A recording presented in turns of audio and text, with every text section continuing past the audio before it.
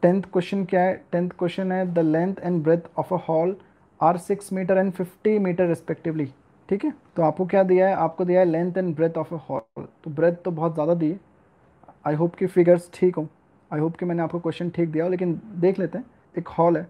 Suppose this is a hall इस तरीके का कोई हॉल है। और आपको वट इज़ गिवन टू इस हॉल के बारे में। इस हॉल के बारे में लेंथ और ब्रेथ आपको दिए। लेंथ ये सिक्स मीटर दिए।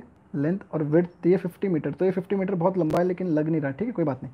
You have to cover the whole floor of this room इसका ये कवर करना है आपने। कवर मतलब इसका जो एरिया होने वाला है that area will be six into fifty समझ रहे हो ना? Length into breadth six into fifty directly लिख रहा हूँ मैं। बेस का एरिया फ्लोर का एरिया ठीक है? Six into fifty metre square okay now what you have to do you have to एक जो दो मीटर का जो दो मीटर चौड़ा जो कारपेट है ओके okay, वो आपको कवर करना है। तो अगर एक कारपेट है सपोज़ कारपेट है उस कारप सपोज़ ऐसा एक लंबा सा कारपेट है ठीक है? ऐसा एक लंबा सा कारपेट है तो उस कारपेट की का जो जो ब्रेथ है वो टू मीटर है। लेंथ सपोज़ एल है।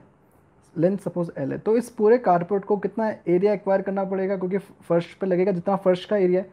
So the area of carpet required will be the area of the area of the floor ठीक है?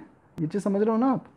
एरिया ऑफ़ फ्लोर तो मैंने यहाँ पर निकाला हुआ है, और what will be the area of carpet length आपको नहीं पता उसकी। Area of carpet will be equal to two into L metre square ठीक है? You should know this that the area of carpet which is required basically to cover the whole floor will be nothing but the area of floor तो this you should know that area of carpet is equal to area of floor so what is the area of carpet that is 2 into L is equal to 6 into 50 और length कितनी आ जाएगी यहाँ पर length किसकी निकालनी है आपको length of a carpet so this will be 60 into fifty upon two two three times और लेंथ कितनी आ गई 150 metre this is nothing but the length of the carpet okay this is nothing but length of carpet